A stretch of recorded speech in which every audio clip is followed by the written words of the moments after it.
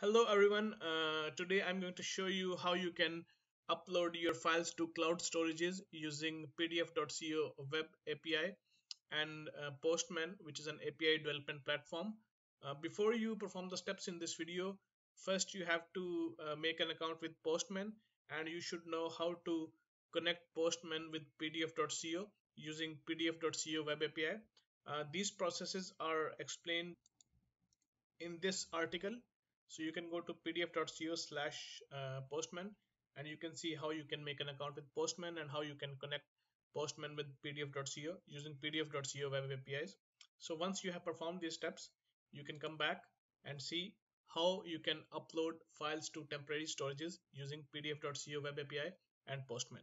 So here on the postman dashboard you can see collections tab and here these are the api calls for pdf.co if you click here you can see the list of API calls or in other words the list of functionalities that you can perform on pdf.co using uh, Postman. So we need to upload a file to a temporary storage. For that you have to drop down, go down and here you can see upload file section. In the upload file section you have to first perform two steps.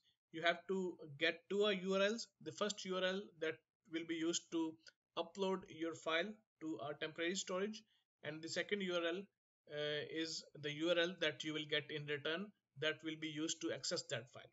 So first you have to click this option get file upload get pre-signed URL. So if you click here you will see uh, this window here. You do not have to do a lot of steps here uh, so by default, the name of your temporary file is uh, test.pdf. If you are uploading a CSV file, you should change the file extension here and also keep this encrypt option to true. That will encrypt your file. So simply click send here on this uh, window. If your API call is successful, you will see uh, a status of 200 as you can see here or you can see here as well.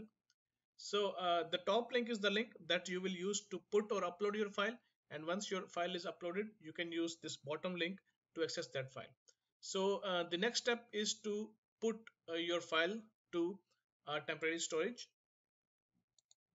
For that you have to click this option put pre-signed url so if you double click this option you can see it here.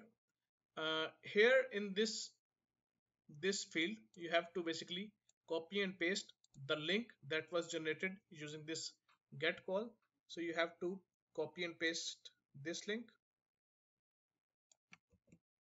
and paste it here.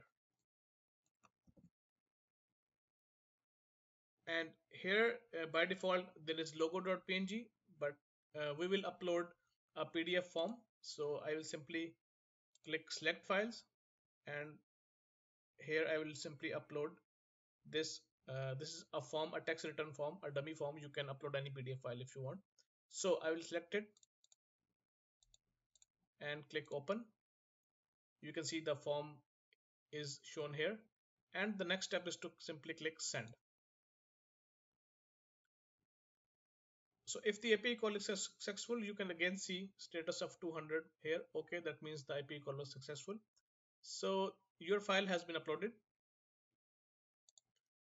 now to access your uploaded file, again go back to this get function and you click this URL. This URL contains your uploaded file. So if you follow this URL, you will see that the PDF form that you just uh, uploaded is downloaded here. Since I clicked that link for three, four times, you can see a lot of forms are opened. Uh, so you can see the name of the file, it's test.pdf, which you actually mentioned while uploading your file. And since uh, we have downloaded multiple versions you can see 3 4 5 and 6 so this is how you upload um, a file to a temporary storage using pdf.co web api and postman. It is important to remember that this file uh, stays on your cloud storage for one hour only and after that it is removed. And also you can upload a file uh, of size up to 2 GB using pdf.co web API and Postman. Thank you for watching.